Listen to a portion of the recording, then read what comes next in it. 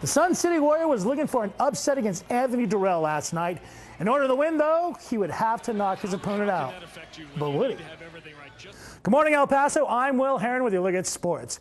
Abie Han, the brother of IBF World Featherweight Champion Jennifer Han.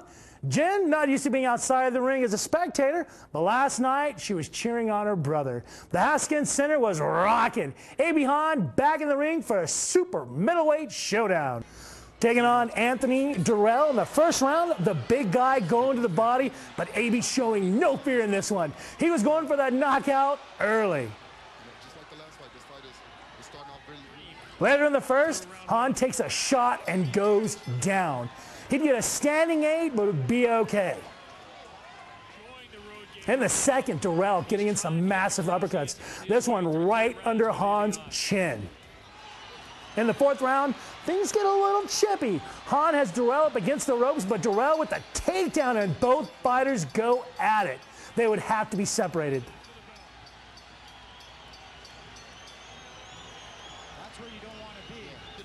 The ref getting both fighters a warning, but the fight would go on. This match would go all 10 rounds. Han gave it everything he had, but he could read the writing on the wall. Dirrell, he knows he's won. He's just doing backflips. Jennifer Han looking on. Out of the 408 punches thrown, Han only landed 73, while Dirrell landed 205. He wins it by a unanimous decision. Han's record is now at 26 wins, 4 losses, and 1 draw. We caught up with Han right after the fight. It was amazing. You know, I, I wish, uh, you know, I could have delivered a win. You know, maybe if we're the same size, you could see the size difference in the fight. You know, he was way bigger. You know, I, I went into the ring maybe around 172, if that, you know, uh, in the ring, and he was probably around 190, you know, so you can see the big weight difference in, in the fight. Um, but, you know, there's no excuses. The better man won, you know, and I got to figure out what to do if I'm going to fight people like this in the ring next time. The main event was a welterweight clash between Miguel Cruz and Josesito Lopez. Lopez in the green striped trunks going on a rampage here in the third round. Manos de piernas. Lopez going to win this one by unanimous decision.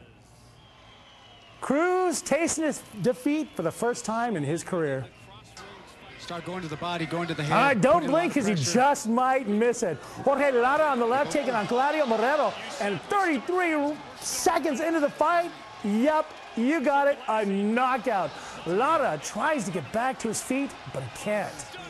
Marrero gets the win and shows some great sportsmanship right here, trying to help Lara back onto his feet awesome night of boxing over at the Haskins Center. Yeah, that's the one thing about An NMSU Aggie and a second UTEP Miner are headed to the NFL. On the final day of the draft, the Baltimore Ravens picked up talented wide receiver Jaleel Scott in the fourth round, and Alvin Jones signed with the Ravens right after the draft. Who knows? They might end up being teammates at the beginning of the year.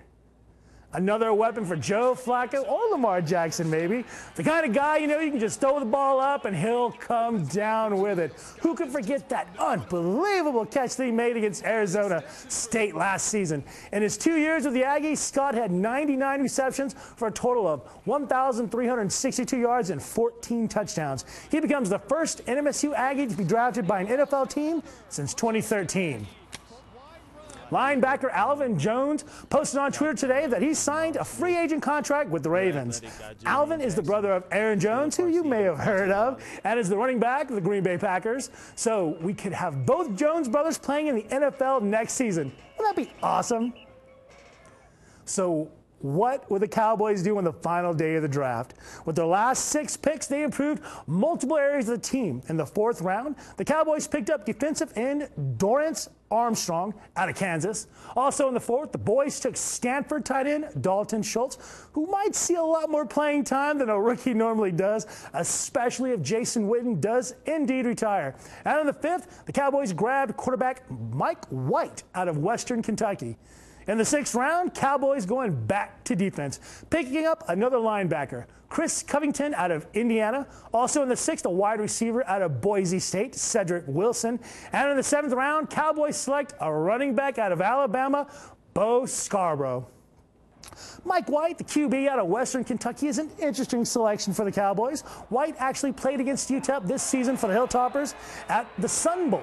White had two rushing touchdowns in that game, but he's also got a cannon for an arm. It will be interesting to see if he gets the job as the backup for Dak Prescott. Cowboys got a veteran wide receiver yesterday. Tavon Austin is now a Cowboy. The boys traded a six round pick to the LA Rams in order to get him.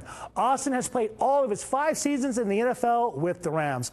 Looks like the Cowboys are scooping up veteran receivers after releasing Dez Bryant earlier this month. Also, the Cowboys traded receiver and punt returner Ryan Switzer to the Raiders in exchange for defensive tackle Jihad Ward. Let's talk a little high school track. We had some first place finishes Saturday at the regional meets, which means these runners are advancing on to the state finals. We start with another good showing for Michael Abieta of Hanks. He finished first in the 800 meter run in class 5A. He also qualified in the 1600 meter run after he finished second in that event. Staying in 5A, Parkland's Kenny Jones finished first in the 300 meter hurdles. And on the girls' side, Jefferson's Breonna Pinkney took first in the 300 meter hurdles. Coach Rosales is going to be happy about that. In 4A, San Elizarios, Edwin Gonzalez took the region title in the 1600 meter run, and Tornillos, Daniel Amaya won the 1600 meter in Class 3A. The El Paso Chihuahuas were trying to get back in the win column last night after back to back losses. Dogs hosting the Bees out of Salt Lake. El Paso up 1 to 0 in the bottom of the fourth when Rafi Lopez is going to send this one over to Santa Fe Street. Watch out, Uber drivers. A solo homer. Chihuahuas up 2 to 0. But we're going to fast forward to the bottom of the eighth. Game tied at 2. Diego Goris don't mean a thing if you ain't got that swing. Bye. A three-run home run makes it five to two Chihuahuas. The dogs will go in fuego from there. They ended up taking it seven to two. Finally, NBA playoffs. Game seven, do or die for both the Bucks and the Celtics. Third quarter, Boston up 13 with Jayson Tatum from the wing. Perfecto! Then in the fourth, it's Terry Rozier extending the Celtics lead with that trey. The Celtics wanted it more. They're moving on, knocking out the Bucks 112 to 96 the final. They'll meet Philadelphia in the Eastern Conference semifinals. On to Look at Sports. Y'all have yourself a fantastic rest of your morning.